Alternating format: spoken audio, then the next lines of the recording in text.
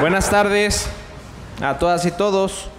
Siendo las 12 horas con 22 minutos del día 13 de noviembre del año 2024, se ha iniciado la sesión extraordinaria de ayuntamiento, por lo que le solicito al secretario general proceda a tomar lista de asistencia, por favor.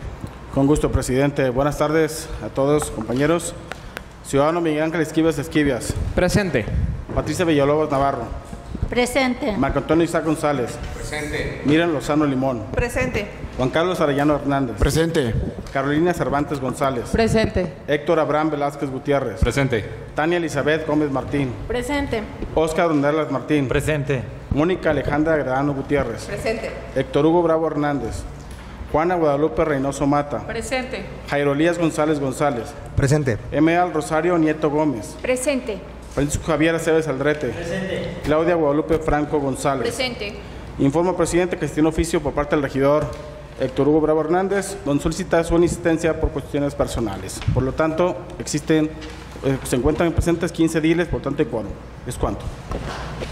Muchas gracias, secretario. Existiendo quórum, se declara abierta esta sesión extraordinaria de ayuntamiento y válidos los acuerdos que en ella se tomen. Se propone para regir la siguiente orden del día, por lo que le solicito al secretario general de lectura los asuntos agendados, por favor. Con gusto, presidente. Como punto número uno, verificación de quórum y declaración de apertura. Punto número dos, propuesta del orden del día y en su caso aprobación. Punto número tres, lectura y en su caso aprobación del acta de la sesión ordinaria de ayuntamiento de fecha 7 de noviembre del 24.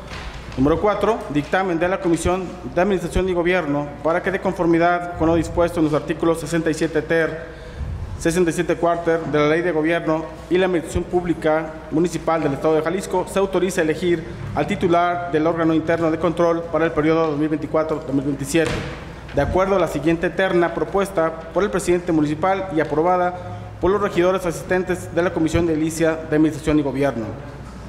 Las tres propuestas son 1. Ciudadano José de Jesús Landeros Cortés. 2.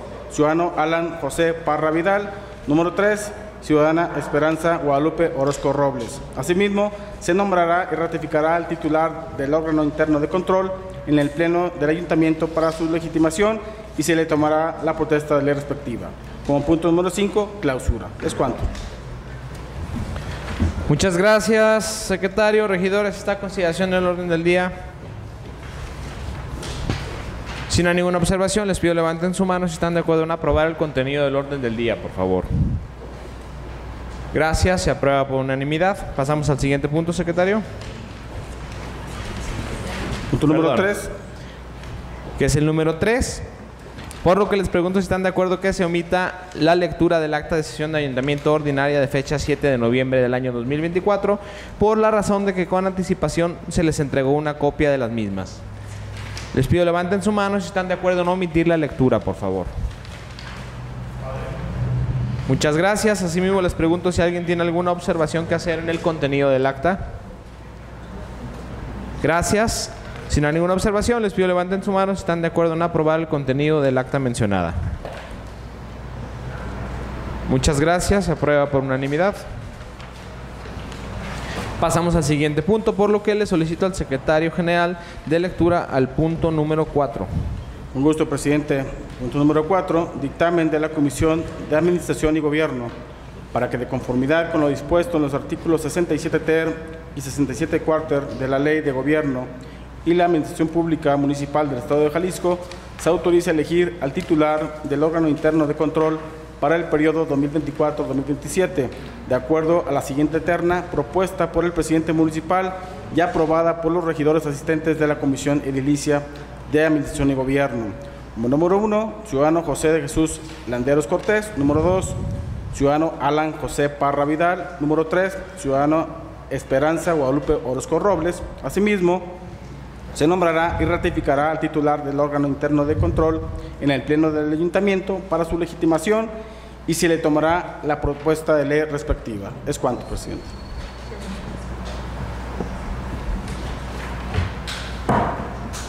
Muchas gracias, secretario. Comentarles, regidores, que en la Comisión de Administración y Gobierno se revisaron seis eh, propuestas que llegaron, algunas eh, completas con toda la documentación, eh, la mayoría. este, algunas no, de las cuales seis se eligieron tres. Eh, estos tres perfiles que acaba de mencionar el secretario Esperanza Guadalupe Orozco Robles, que creo que se encuentra presente. Bienvenida, con experiencia en los gobiernos de Zapotlanejo, los, últimos años, si no me equivoco entre otras muchas cosas más. Los tres perfiles, la verdad, bastante completos, muy capaces, con experiencia y todos los requisitos que se necesitan para ocupar el puesto del órgano interno de control. El licenciado Alan José Parra Vidal también se encuentra aquí presente, también con vasta experiencia en el tema. Y el ciudadano licenciado también José de Jesús Landeros Cortés, quien fungió, funge como este, encargado de la Contraloría, eh, Contralor en la administración anterior, también este, conocido sus resultados y bastante capaz para desempeñar el puesto de Contralor Municipal. Son los tres perfiles que en la comisión aprobamos presentar ante este pleno del ayuntamiento para esta terna para hacer la selección o el voto de quién se encargará de la Contraloría Municipal. Dejo los tres... Eh, eh, documentos aquí por si alguien quiere revisarlos o algo, con todo gusto se los hacemos llegar en este momento. No sé si alguien quiere revisarlos antes de que pasemos a el tema de, la votación que les voy platicando de acuerdo a las formas que se pueden utilizar para la designación o votación para elegir la titular del órgano interno de control. Le pide entonces al secretario que les reparta a cada uno de los regidores una boleta donde está el nombre de los tres una boleta para emitir su voto por la persona que consideren pueda ocupar el cargo. Una vez que emitamos nuestro voto, el secretario general pasará con una urna para que depositen su boleta y procedamos eh, a recontar los votos. Esa es la forma en la que se hará la selección. Adelante, regidor. Muchas gracias. Buenas tardes, compañeras y compañeros regidores. Solo preguntarle, presidente, la, ley prevé que la votación para el Contralor se haga de manera económica o me gustaría que me compartieran en qué, eh, en qué se fundaría la dinámica para que sea por cédula la votación. Porque es como se propone en este momento, ¿no? Que sea por cédula. Gracias, regidor. Así es este como se viene haciendo siempre. Gracias. Bueno, eh, igualmente para comentarle, presidente, una cosa, si se viene haciendo así, pues no puede contrariar a lo que comenta la ley. Y a mí me gustaría que se respete lo que comenta la ley y se haga por votación económica. Gracias, regidor. ¿Alguien tiene algún otro comentario? Regidores, adelante, regidor Francisco. Buenos días a todas y a todos. Este, casi 45 días después, pero ya estamos hablando del órgano, del órgano interno de control. Eh, yo nada más quiero hacer una intervención para darle celeridad a este proceso. Yo tampoco tengo problema en que sea en forma económica, pues podemos levantar la mano. No creo que nadie estemos ocultando nuestros, nuestros votos y hasta más rápido acabamos, ¿no? Pero sí ser muy claro con lo que tiene que ver y a mí me gustaría que los 16 ediles que hoy votamos eh, sepamos qué hace el órgano interno de control. ¿Para qué es el órgano interno de control? ¿Por qué tener en el órgano interno de control a una persona capacitada para resolver? ¿no? Y hoy tenemos tres grandes perfiles y en lo personal quiero resaltar el perfil de la licenciada Esperanza, este, más de nueve años siendo titular del órgano interno de control y en jefaturas de transparencia. Y me da gusto que de las seis propuestas hubiera cinco eh, externas al gobierno municipal y el hoy titular del órgano interno de control que busca la ratificación. ¿no? Eso habla de que hemos logrado poner, involucrar a la sociedad. La vez pasada creo que nada más tuvimos hace tres años dos propuestas. Hoy pudimos involucrar a la sociedad para que seis personas se postularan y que genuinamente trajeran su currículum. Cuatro de ellas cumplieron con todos los requisitos y al final el presidente propuso la terna que hoy se tiene aquí. En lo personal yo estoy, eh, ojalá que la licenciada Esperanza pudiera ocupar ese puesto, pero no soy ajeno a los términos y a los temas políticos que hoy se manejan en el municipio. Y que somos seis regidores, cinco regidores hoy presentes de la oposición o de representación proporcional y diez de quien ocupa el Ejecutivo. Y la ley marca muy clara cuál es el procedimiento para la elección del órgano interno de control Ahorita vamos a votar, se ocupa mayoría calificada de los integrantes, que son 11 votos, y posterior, si no se completan los 11, será otra elección, y si no se completa, va a ser designación directa por el presidente. En esta ocasión, para obviar todo este proceso, yo, y lo digo público y lo digo de frente a la Cámara como siempre me he manejado, yo sí le daré el voto que hace falta para que el, licenciado eh, José de Jesús Landeros repita como órgano interno de control, porque no quiero tampoco simular ni andar dándole vueltas y vueltas y vueltas cuando sabemos que el resultado va a ser eso. Pero también quiero señalar lo que durante tres años no podemos seguir haciendo en el órgano interno de control. Y aquí presente también el licenciado Chepe Landeros, como lo conocemos, por recordarle que yo me tuve que ir al tribunal administrativo porque no me daban solución en el órgano interno de control. Recordarle que yo tuve que ir a la Fiscalía Anticorrupción porque el órgano interno de control tardó más de un año en dar una respuesta a una investigación. Hoy está presente la licenciada Rebeca, también regidora del ayuntamiento anterior, y le acaban de dar respuesta a su queja cuando ya ella dejó incluso hasta el cargo, cuando sí hemos estado señalando que es un municipio y que ha sido un ayuntamiento o un gobierno municipal que se ha caracterizado por el nepotismo, por el tráfico de influencias y un montón de eh, puntos que se tipifican que el órgano interno de control tiene que sancionar de manera grave y no se hace. Yo por temas políticos y por obviar el proceso le voy a dar mi voto, pero a partir de mañana va a recibir nuestras denuncias que están pendientes para poder incluso cumplir con la paridad que marca el reglamento en este municipio. Entonces, ese sería mi, mi motivo si yo estoy a favor de que se vote levantando la mano. Gracias, regidor. ¿Alguien más? Adelante, regidor Jairo. El- de parte de la fracción de Movimiento Ciudadano, nosotros por motivos ciudadanos vamos a votar diverso a lo que se ha venido haciendo, porque si ya hay experiencias en estos tres años, como se acaban de comentar, eh, de algunas deficiencias, pues bueno, yo celebro que haya otras participaciones de profesionales eh, y no, no, es, no es un tema personal, es un tema de experiencias y de servicio público, pero por motivos ciudadanos nuestro voto será diverso eh, al actual titular del órgano interno de control, en favor de las y los tepatilenses.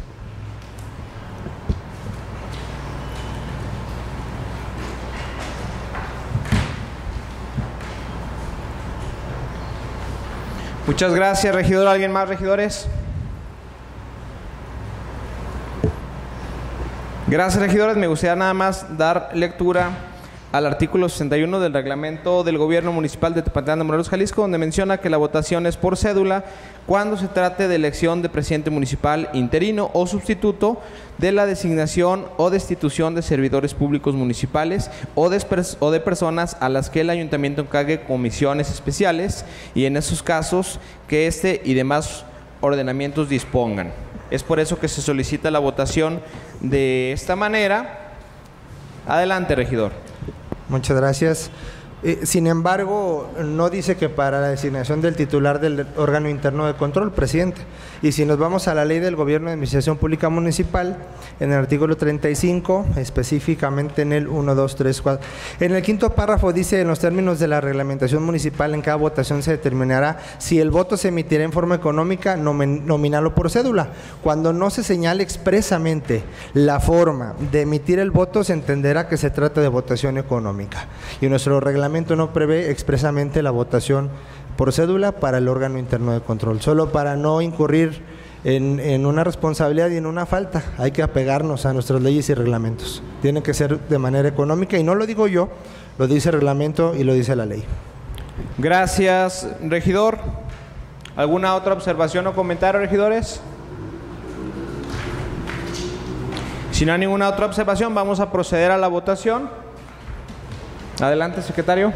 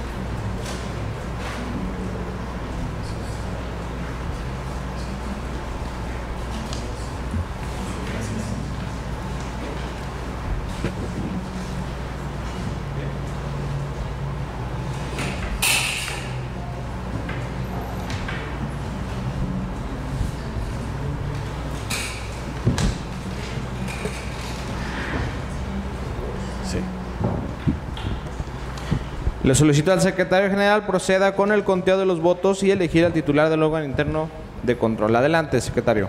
Con gusto, presidente. Primer voto para Alan José Parra Vidal. Este voto es para Alan José Parra Vidal. Voto para José Jesús Landeros Cortés. Voto para José Jesús Landeros Cortés.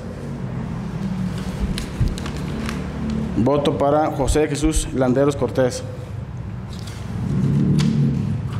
Voto para Alan José Parra Vidal. Voto para José Jesús Landeros Cortés. Voto para José Jesús Landeros Cortés. Voto para José Jesús Landeros Cortés. Voto para José Jesús Landeros Cortés.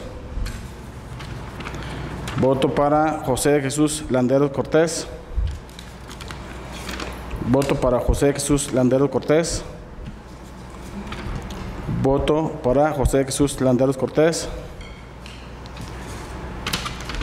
Voto para Esperanza Guadalupe Orozco Robles. Y voto para José Jesús Landeros Cortés. Le informo, presidente, que se tienen para José Jesús Landeros Cortés una totalidad de 1, 2, 3, 4, 5, 6, 7, 8, 9, 10, 11 votos. Para el ciudadano Alan José Parra Vidal, una totalidad de 3 votos. Y para la ciudadana Esperanza Guadalupe Orozco Robles, una totalidad de un voto. ¿Es cuánto? Muchas gracias, secretario. El acuerdo queda de la siguiente manera. Se autoriza al ciudadano José de Jesús Landeros Cortés como titular del órgano interno de control del municipio de Tepatlán de Morelos, Jalisco, para el periodo 24-27. Les pido ponerse de pie para que se haga la protesta de ley, por favor. Adelante, Chepe, por favor.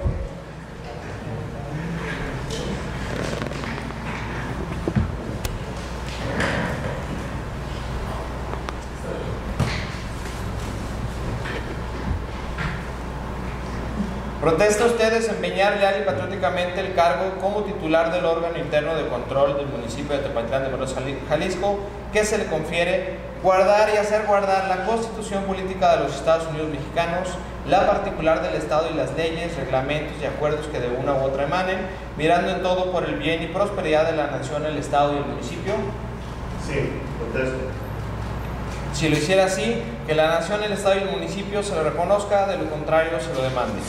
Agradecemos la participación de todas las personas presentes y participantes en este proceso. Muchas gracias.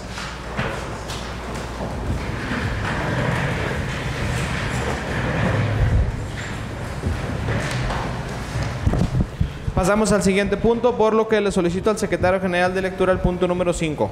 Con gusto, presidente. Como número 5, clausura. ¿Es cuánto? Gracias, secretario.